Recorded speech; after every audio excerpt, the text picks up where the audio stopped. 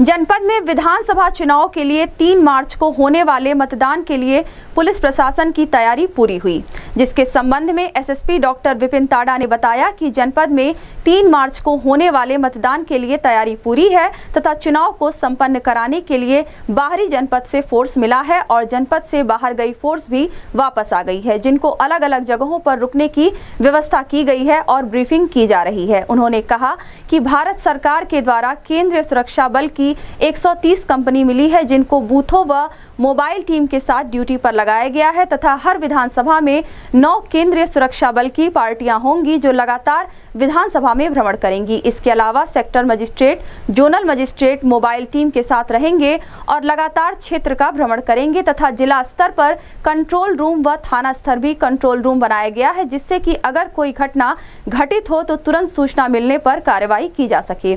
उन्होंने कहा कि चुनाव में अगर किसी ने गड़बड़ी करने की कोशिश की, उससे सख्ती से निपटा जाएगा। इसके साथ ही तीस हज़ार लोगों को रेड कार्ड व पचास हज़ार लोगों को शांति व्यवस्था बनाए रखने के लिए पाबंद किया गया तथा आपराधिक तत्वों के खिलाफ भी लगातार कार्रवाई की जा रही है।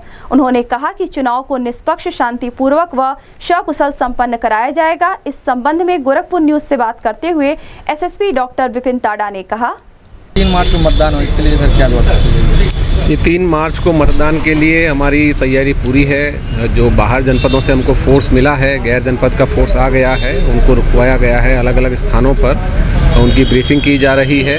साथ ही हमें 130 कंपनी, ये सेंट्रल पैरामिलिट्री फोर्सेस की मिली हैं, जिनको कि बूथ पे और मोबाइल ड्यूटी में लगाया जाएगा। हर विधानसभा में नौ सेंट्रल पैरामिलिट्री की पार्टियाँ होंगी जो लगातार भ्रमण पर रहेंगी।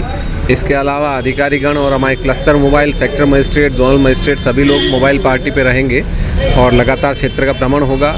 ज़िला स्तर पे कंट्रोल रूम बना है और थाना स्तर पर भी कंट्रोल रूम बना है। किसी भी घटना का त्वरित संज्ञान लेकर कार्रवाई करने के लिए और यदि किसी ने गड़बड़ी फैलाने की प्रयास किया तो उनके खिलाफ कड़ी कार्रवाई की जाएगी। तीस हज़ार लोगों को रेड कार्ड बांटे गए हैं और पचास हज़ार लोगों को शांति व्यवस्था कायम रखने के लिए पाबंद किया गया है। साथ ही जो आपराधिक तत्व हैं, उनके खिलाफ भी कार्रवाई लगातार की जा रही है और चुनाव को सकुशल, शांतिपूर्वक और निष्पक्ष रूप से संपन्न करवाया जाएगा।